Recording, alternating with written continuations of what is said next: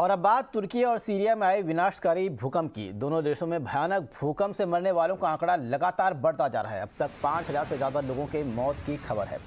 हज़ारों लोग अभी भी लापता हैं। आज भी तुर्की और सीरिया में दो झटके महसूस किए गए।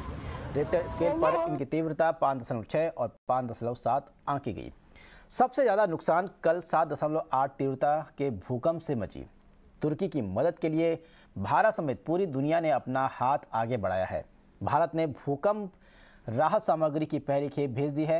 इंडियन एयरफोर्स का सी सेवनटीन विमान दो एनडीआरएफ टीमों, डॉक्टरों और राहत सामग्री के साथ वहाँ पहुँच चुका है। दूसरा विमान भी रवाना हो चुका है। वहीं पीएम मोदी ने भी तुर्की के हालात पर चिंता ज़ाहिर की। बीजेपी संसदीय दल की बैठक में पीएम मोदी ने तुर्की में आए भूकंप को लेकर काफ़ी भावुक नज़र आए और इमोशनल नज़र आए।